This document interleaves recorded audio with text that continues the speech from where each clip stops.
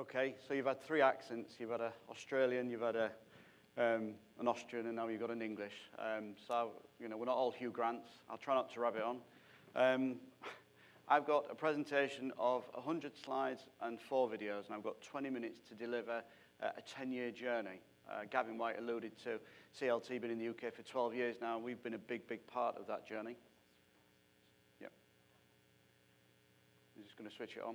So I'll try and spin through it as quick as I can. So as Helmut alluded, we've got an exclusive partnership with Binderholz for the UK.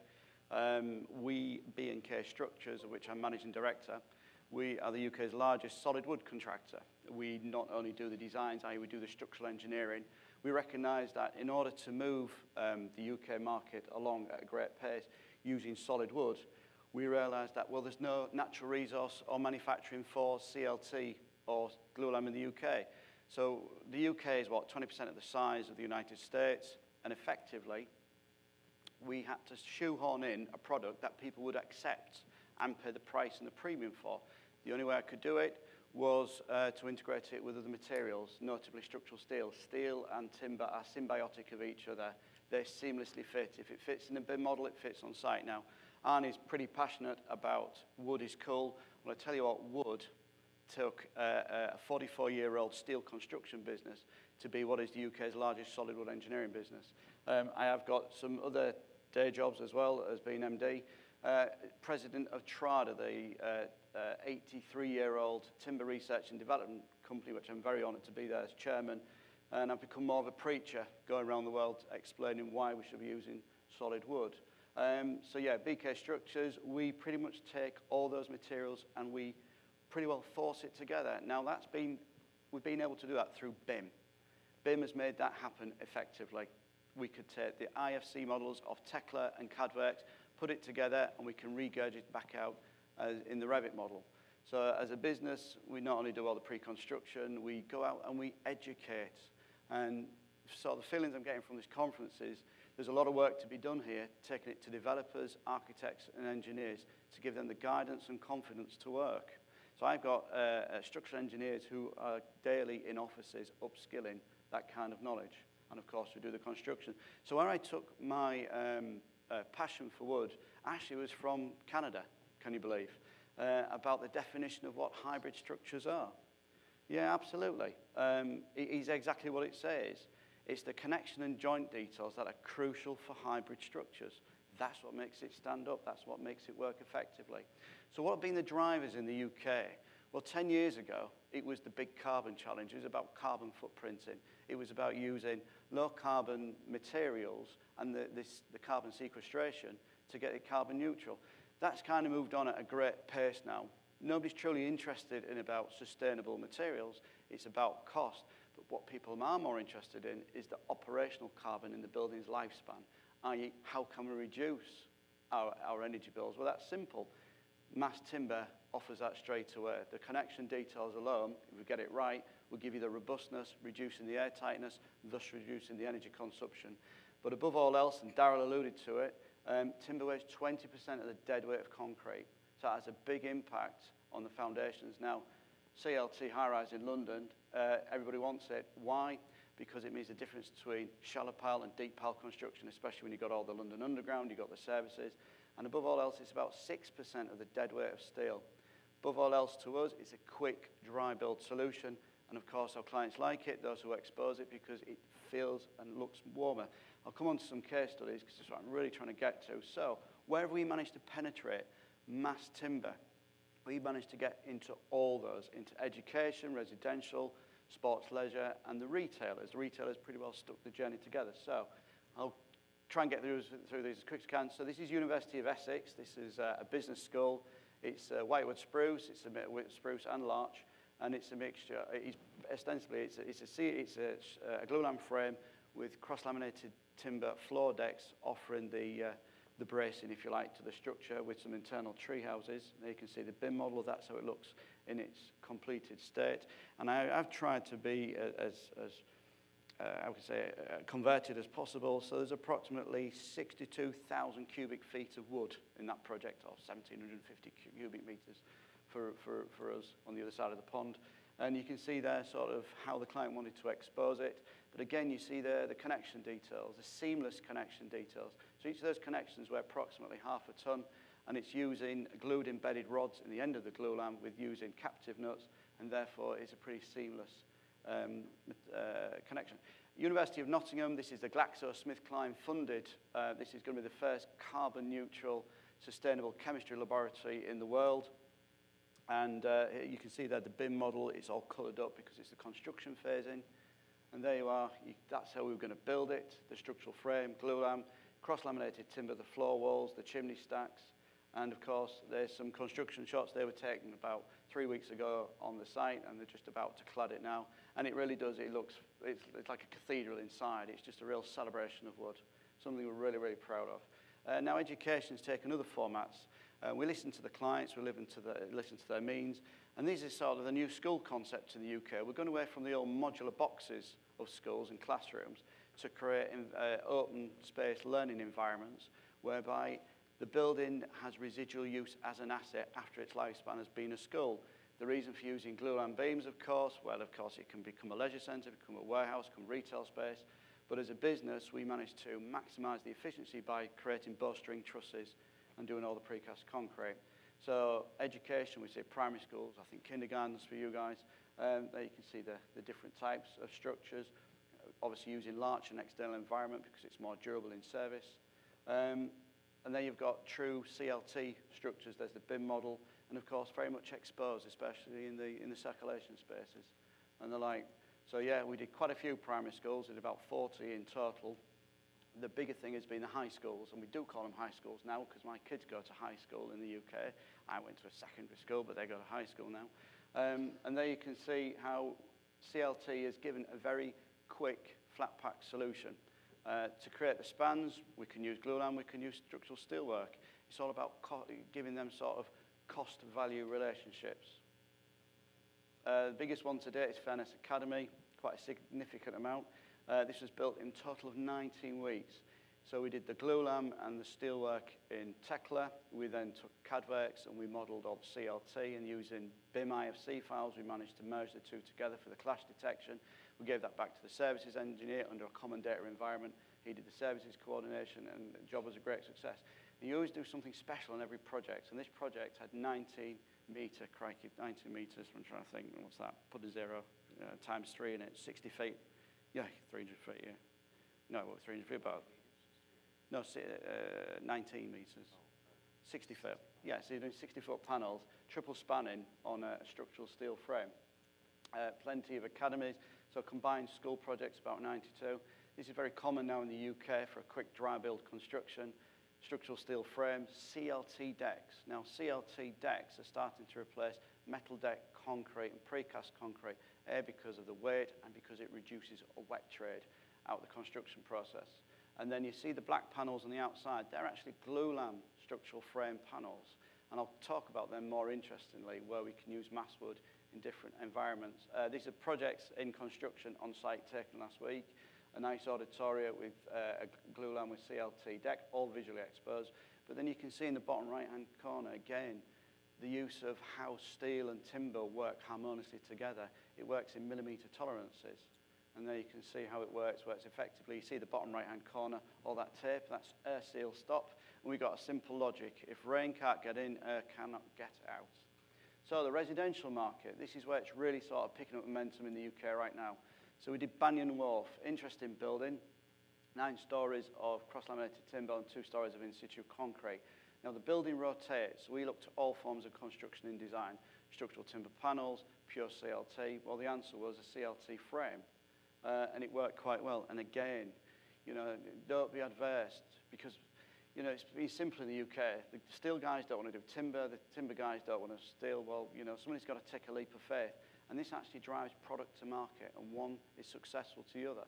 And I'll explain why that relationship comes on. So here's the construction video. It's always nice see nice, pretty pictures, but until you truly appreciate what goes on out there. So the contractor, the, the, uh, the, the developer, sorry, was um, 30 weeks in the ground doing the basement, the two stories. Because he didn't understand what product he was going to go with, he put a concrete core. That concrete core could have been in CLT. then great, we come on board and we took approximately 28 weeks with what I call one hook or one crane with six guys to construct the nine stories. And you can see there how the building rotates. We dropped in all the plasterboard. You know, it wanted 90 minutes fire protection. So we've got the CLT thickness and we've got two, two layers of plasterboard on there. And we worked with the fire engineer and we did some fire testing physically on site in one of the compartments. So that's how it looks. There's some of the construction shots. As soon as the windows was in, that was fantastic. Um, it meant the contractor could do his facade and his fit out concurrently, which reduced his construction program by 30%. And there's the finished shots, and, and nobody knows it's a CLT building. Um, I know everybody wants to expose and see it, but the developers see life differently. It, the way we see it is zero to four stories, we'll never compete with stick-built timber frame. Four stories to 13 stories is a CLT solution. Above 13 stories has got to be a steel or concrete frame, but possibly mixed in with cross-laminated timber.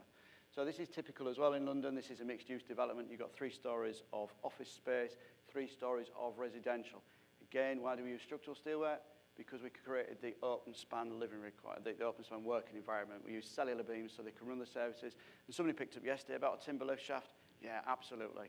People love it in the UK. And there's always a driver in the UK. And at the moment, the biggest driver in health and safety is dust, silica dust.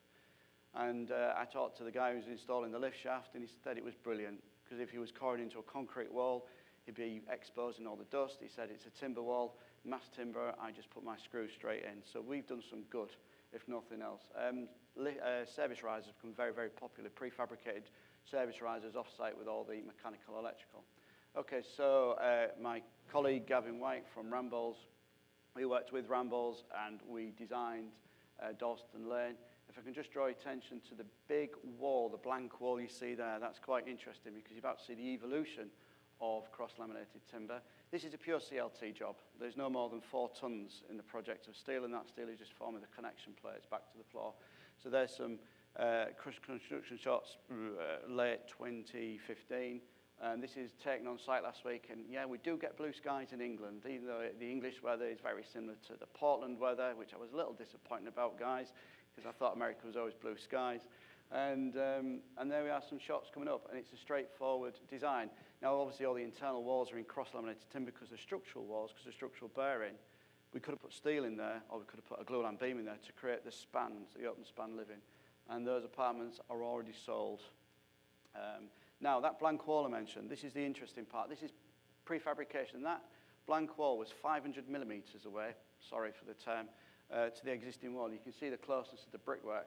So we developed with Binder a totally prefabricated solution, do the assembly off site of actually taking it to the finished surface with the vapor membrane, the insulation, the gasket, the air sealing joint. And we dropped it in, and then nobody has to go down the elevation, and it's finished.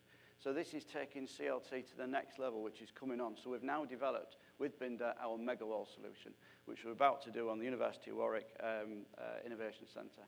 So commercial office space for mass timber. Um, quite a few people in the audience I know I've taken, they visited over the pond and I've taken to uh, Sky Television, uh, Sky TV, which is part of the Fox network.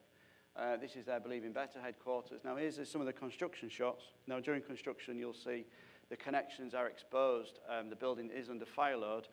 We basically went back and we plugged them, screwed them after. So again, I, I want to show you a video. You see the black panels again? Well, they're actually structural glulam cassettes. Reason being is, well, because basically we can lift mass timber up because it's much lighter as a composite panel. So this is around uh, January 2014.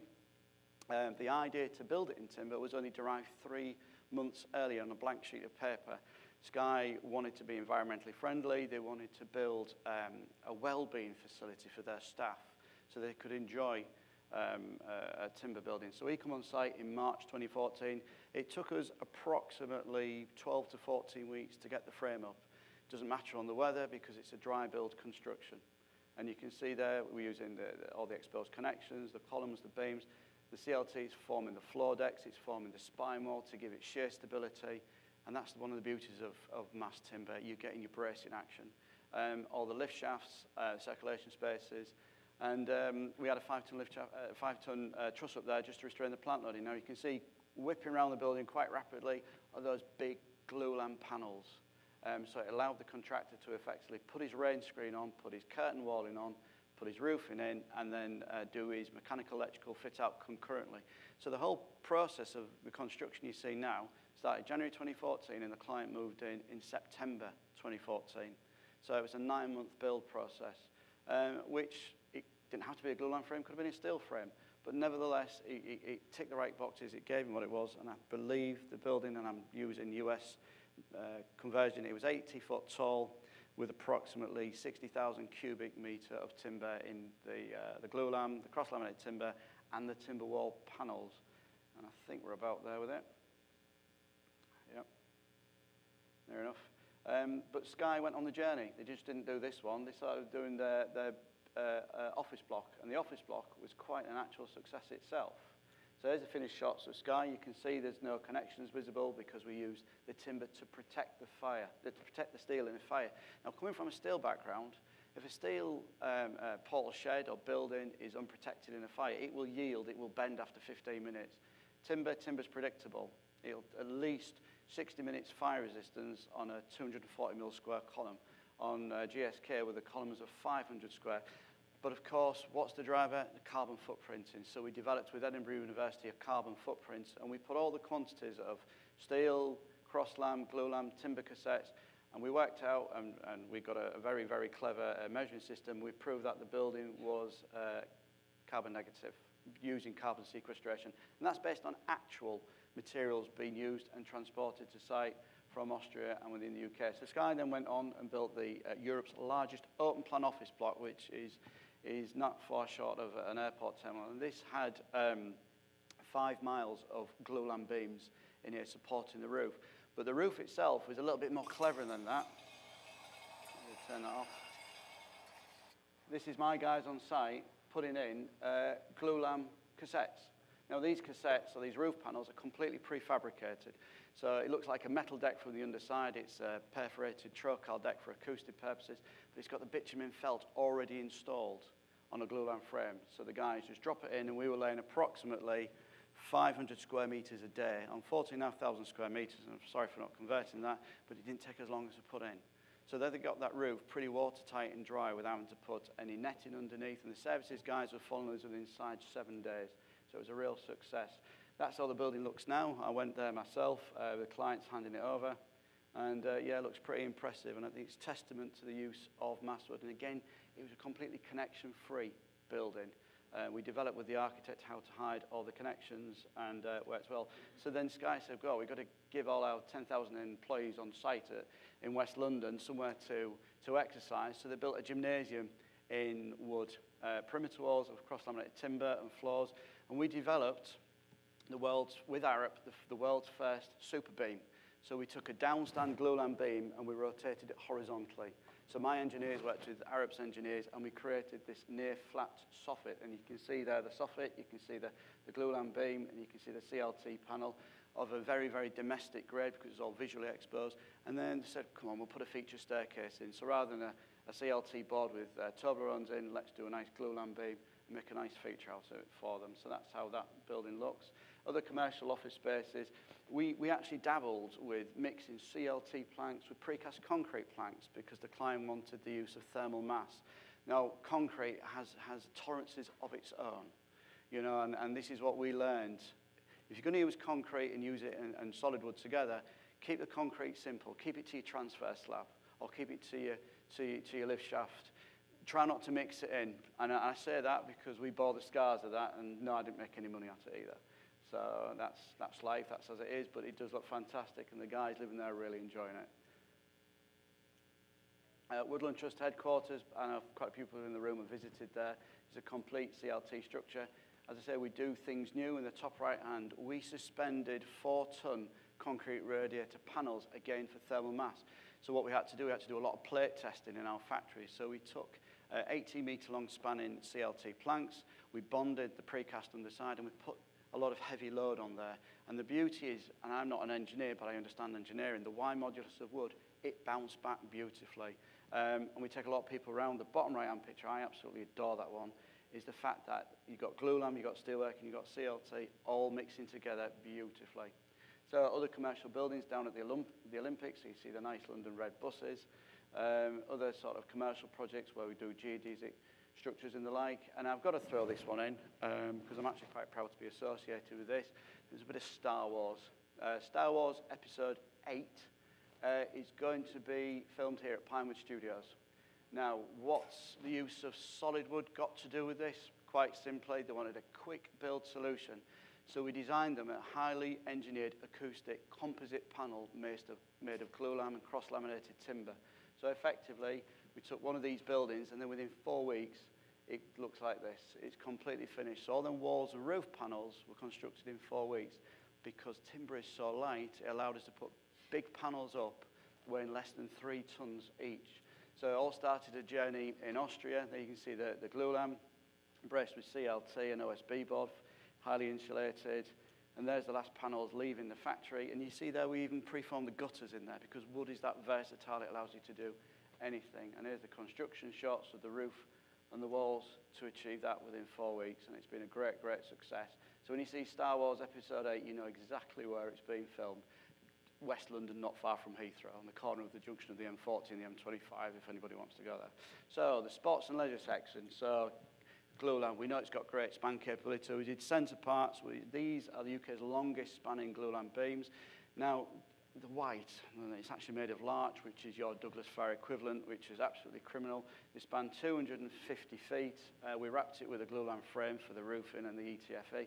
And we might be, again, because of the, the preciseness of the connection details, we've got this constructed in under five weeks. Uh, and there it is now in operation as a holiday park. So sports and leisure, again, what can we do with wood? Well, we can create wonderful, beautiful looking buildings. We can do geodesic structures. There's the BIM model. Again, without BIM, we couldn't have uh, created it. Again, we use the uh, seamless connections from the glulam back to the structural steelwork, again, engineered within millimetres, and that's how that project looks. And of course, retail, where it all kicked off for us 10 years ago, when I've got a retailer saying, I want to build a building in wood, what are you going to do about it?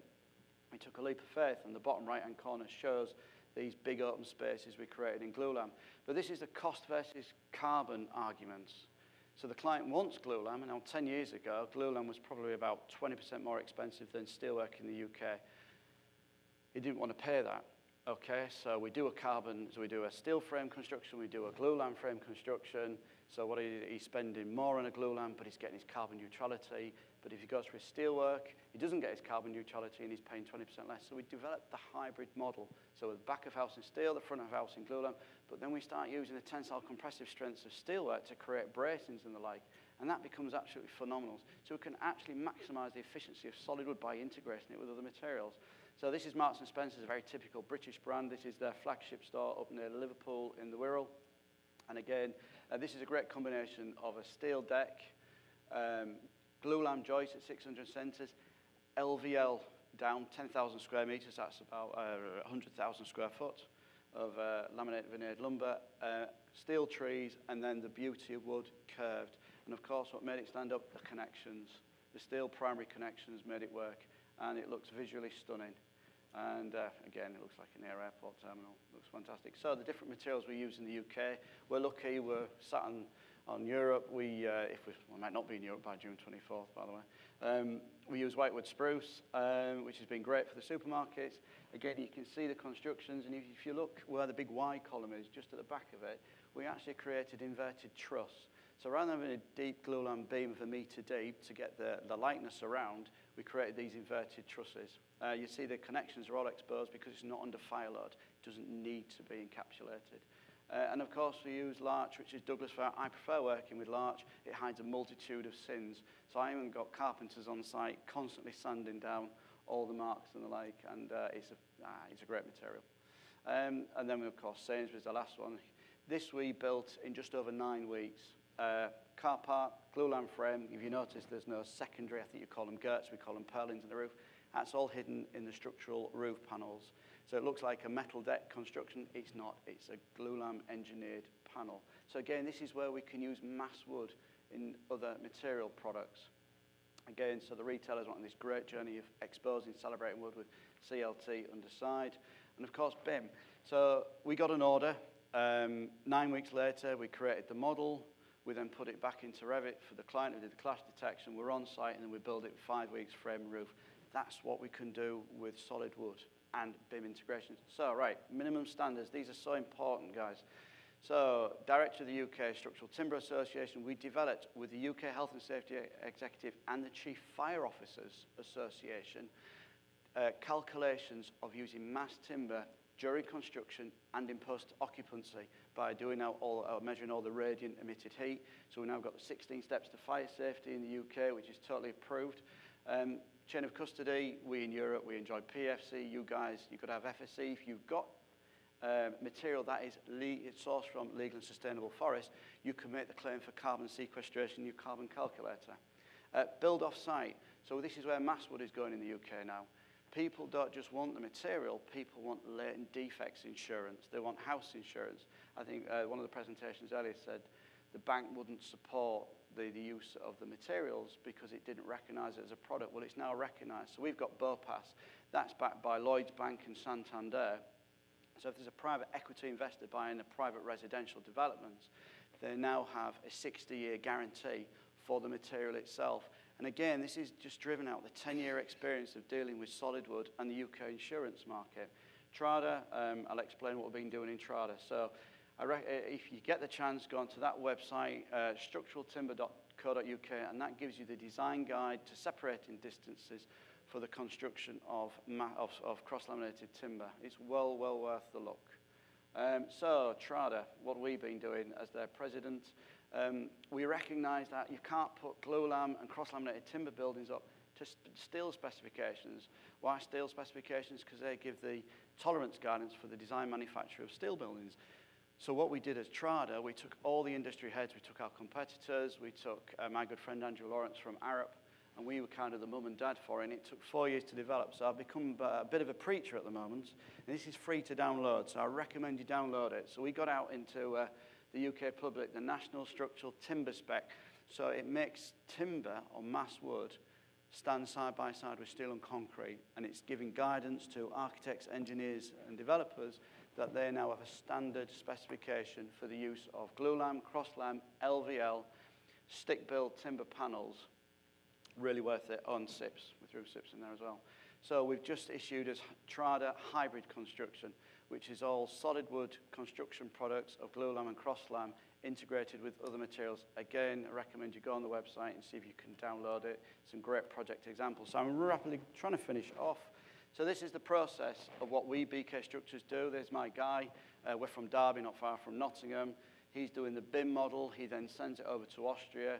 Uh, Helmut and, and, and his crazy gang, they kindly do all the manufacturing. Helmut's allowed me to show this. This is uh, their factory doing the 125 panel. Uh, there's the uh, lamellas, all edge glued using whitewood spruce. And then it's, it's compressed together.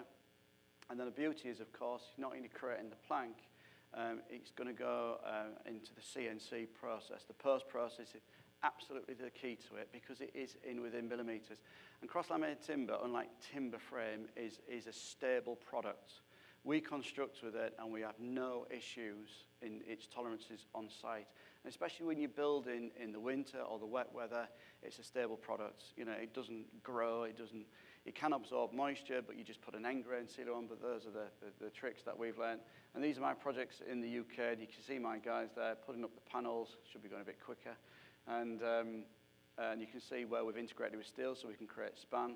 But of course, the CNC. CNC is so important to it because it fits together. A project like that we'll put up in, what, six weeks? Quick dry build. The way we kind of describe CLT and low rise in the education market is structural block work.